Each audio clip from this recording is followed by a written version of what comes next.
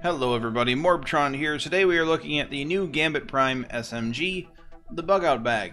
Now, I personally got mine from a Gambit Prime match, and I got it randomly after taking down one of the Primeval's envoys. So during the Primeval phase, I took down one of the envoys, and I got this little pride and joy delivered right straight into my inventory. There's a multiple different ways I've been hearing people getting the weapons in Gambit Prime, like the hand cannon I reviewed a couple days ago, and now this SMG. Both of those I got from killing one of the envoys in the Primeval match, or during the Primeval phase. But I have heard of people getting rewarded weapons from turning in things like 15 motes at once, from taking down high value targets, from defeating multiple blockers and getting like a multi-kill on blockers, uh, doing a full team wipe on the enemy team during an invasion, that sort of thing. Basically, anytime in Gambit Prime where you receive a token, like a Reaper token, or an Invader token, or a Sentry token, or a Collector token, anytime that you have received one of those, that is a chance to get a Gambit Prime weapon. So happy farming, folks. But this one specifically, this is the curated roll, meaning that the roll is locked. There's no other choices here. Uh, mine did come with a targeting adjuster mod already in it, so that's what I'm rolling with. But the curated does come with a fully decked out reload masterwork. This thing does reload lightning fast, especially when the magazine is empty because of alloy magazine. But kind of the interesting part about this weapon specifically is that it's got multi-kill clip, which is a new trait that was added in during this last update. So reloading grants increased weapon damage just like regular kill clip does, but unlike regular kill clip, the more kills you get before you reload, the higher your damage output is going to be. Doesn't really come into play all that often as it is an SMG and it has 33 rounds in the mag, so the chances of you getting a multi-kill in places like the Crucible before you reload, pretty slim. Will it happen sometimes? Yes, of course it will, because anything is possible. But most of the time you're going to get a kill before you reload, so it's going to feel just like having regular kill clip in the Crucible. But in PvE, of course, you can get a uh, proper good amount of multi-kill rolling before you reload on little red bar enemies.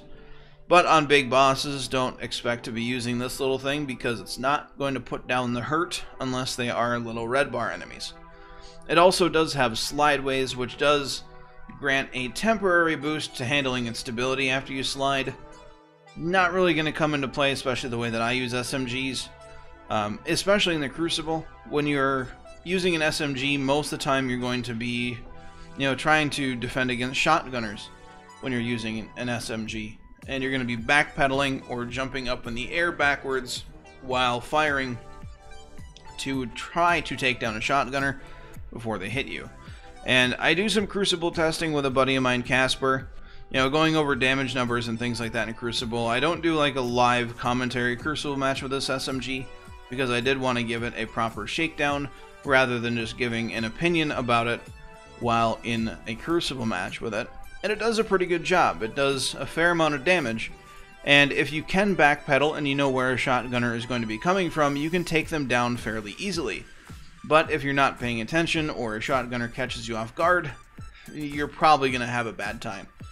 But let's uh, let's see what this weapon can do in PvE, and then we will go into that Crucible testing. So, hip fire with it on PC anyway is very, very good, as hipfire isn't very penalizing on a mouse and keyboard. But I imagine on console you're going to want to aim down sights.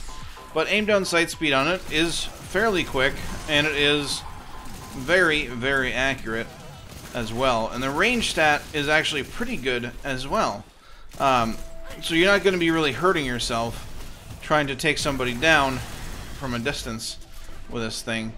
But as you can see, you know, it does reload fairly quickly, even when the magazine isn't empty. But when the magazine is completely empty, it is very, very fast. And you'll see here on this Lost Sector boss, it, yeah, it does a fair amount of damage.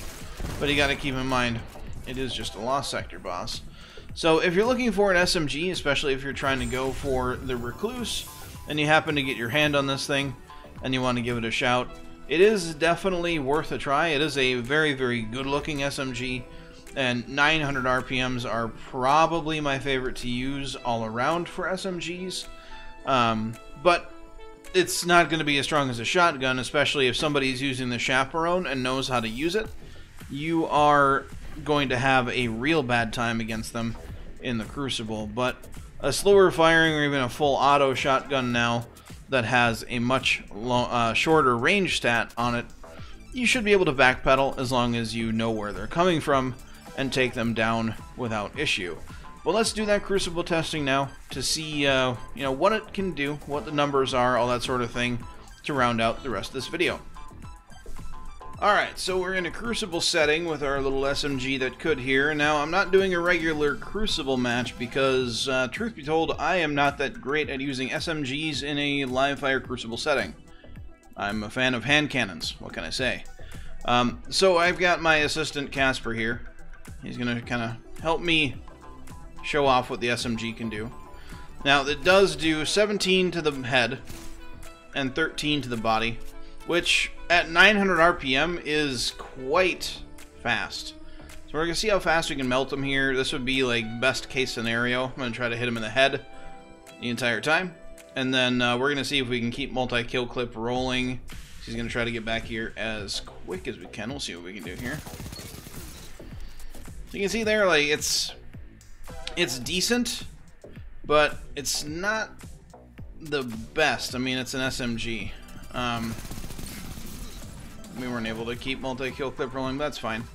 Um, obviously, with multi-kill clip rolling, it is going to do more damage. Um, and you can see its range. We should probably check out its range here, too.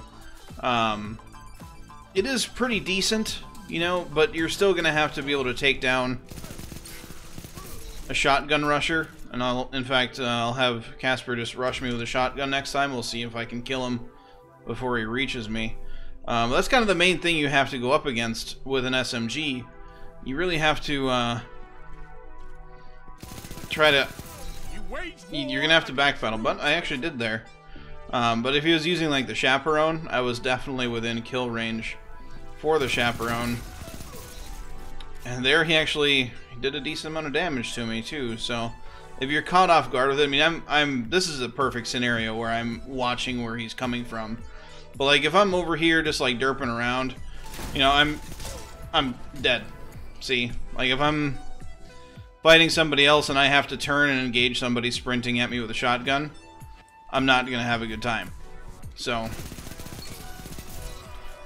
think he was out of ammo there. But uh, yeah, so it's you're gonna get caught with your pants down using an SMG, but uh, with multi-kill clip and slideways, that was a bad idea. I slid towards a shotgun rusher. Never do that. Never slide towards a shotgun rusher. But I mean, it it can if you backpedal enough and you can kind of watch your radar and see where the shotgunners are coming from.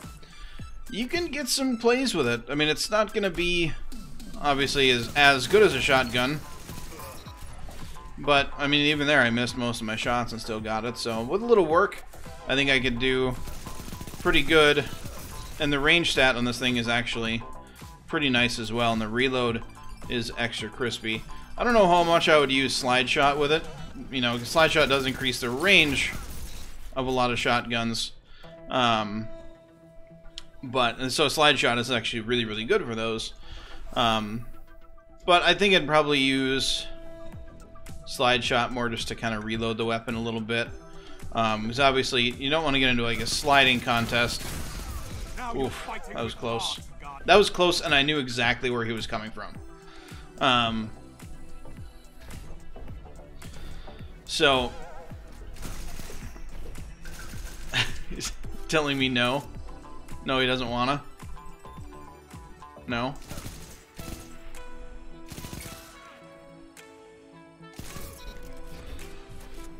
But, uh, yeah. So, it could be decent, you know, especially if you're going for SMG kills, trying to get your quest done. If you can get... Oh, no. Yep, there's no... No ending that, that's for sure.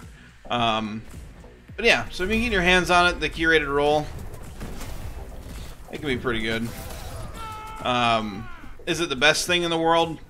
I mean, it's an SMG, so no. Anybody using the chaperone that's good at the chaperone, that can be nice and sneaky, is going to outright slaughter you. But if you want to use an SMG, shake up the meta a little bit, it's a good option. It's very, very stable, and, uh, ow. And it can get the job done. It's stable, it does a lot of damage, multi-kill clip is really, really fun to use in PvE. I don't know how often multi-kill clip would come into effect in the Crucible, um, but it is kind of like a kill clip effect anyway. But that is going to be it for this video. So if you liked it, positive rating is greatly appreciated by hitting that like button for me. If you're new here, subscribe if you want to see more of my content, and it doesn't cost you a damn thing. So go ahead and hit that sub button for me. We are less than 400 subs away now from 5,000. And the uh, support on the channel has been nuts, so thank you very much for that. Not gonna outgun a machine gun. But do not forget to have a good day, everybody, and I will catch you all next time.